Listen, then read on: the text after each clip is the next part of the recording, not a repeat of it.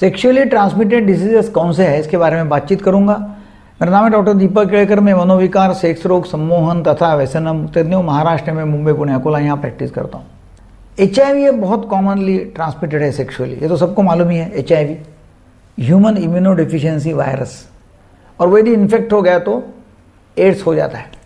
Common जो sexually transmit disease है, वो है सिफिलिस और गनोरिया एस बोलते हैं सेक्सुअली ट्रांसमिटेड डिसीज सेफिलिस और गनोरिया बहुत ज़्यादा कॉमन है। हर्पीज जेनाइटल हर्पीज ये भी होता है सेक्सुअली ट्रांसमिटेड है। वैसे ही क्लाइमाइडिया इन्फेक्शन जो है जेनाइटल वॉट्स वो भी सेक्सुअली ट्रांसमिटेड है। वजाइनाइटिस होता है हेपेटाइटिस बी होता है ट्रिकोमोनियासिस होता है स्केबीज हो जाता है सेक्सुअली ट्रांसमिटेड में। तो ऐसे, काफ़ी सारी बीमारियाँ हैं। लोगों का क्वेश्चन रहता है कि भाई क्या किसिंग से ही बीमारियाँ फैल जाएँगी? तो किसिंग से मतलब पहला जो है वजाइनल जो इंटरकोर्स होता है, उसमें फैलने के चांसेस ज़्यादा है वजाइनल ओरल सेक्स में भी फैलता है ये। और ओरल सेक्स के अलावा यदि किसिंग से होता है क्या, लोगों का सवाल रहता है।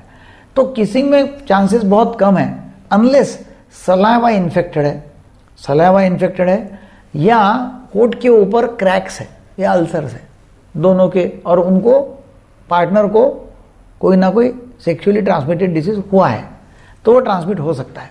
अदरवाइज़ यदि दोनों पार्टनर को कोई भी सेक्सुअली ट्रांसमिटेड डिसीज नहीं है, दोनों को भी नहीं है तो फिर वो होने का सवाल ही नहीं आता, क्योंकि नथिंग से ये क्रिएट नहीं होता है, ये बीमारी। मगर कुछ ना कुछ है किसको, वहाँ से चालू हो सकता है। अच्छा फिर लोगों का सवाल रहता है कि फिर कब टेस्ट करना चाहिए? देखो सिफिलिस गनोरिया के ताबड़तोब टेस्ट होना ज़रूरी है, तुरंत टेस्ट करना ज़रूरी है। क्योंकि आपको क्या होता है बर्निंग मिक्चुरेशन होता है, बहुत पेन होता है, दर्द होता है यूरिन में पस निकलता है, दर्द बहुत होता है, बुखार आ सकता है, सूजन आती है तो तुरंत टेस्ट करना ज़रूरी है। मगर एचआईवी का जो टेस्ट है, वो तुरंत पॉजिटिव नहीं आएगा, कम से कम तीन महीने तभी रुकना चाहिए और तीन महीने बाद में आप यदि टेस्ट करते हैं और तब निगेटिव आता है, समझना है कि भाई अभी चांसेस कम है ट्रांसमिट करने के।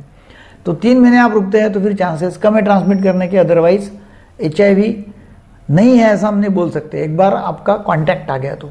तो ये प्रिकॉशन लेना ज़रूरी है। बेस्ट ये है कि अननोन पार्टनर से सेक्स नहीं करना। नंबर दो सेक्स करते हैं तो प्रिवेंशन करना।